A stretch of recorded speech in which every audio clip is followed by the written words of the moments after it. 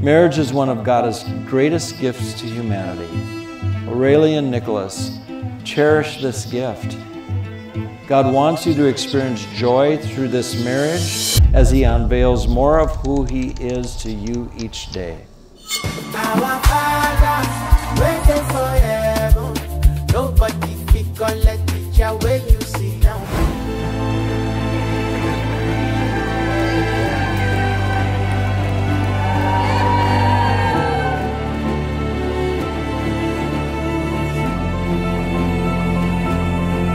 Aurelie and Nicholas, each of you need to be deeply committed to this marriage and to God because you will face circumstances in your life that will test the depth of your relationship.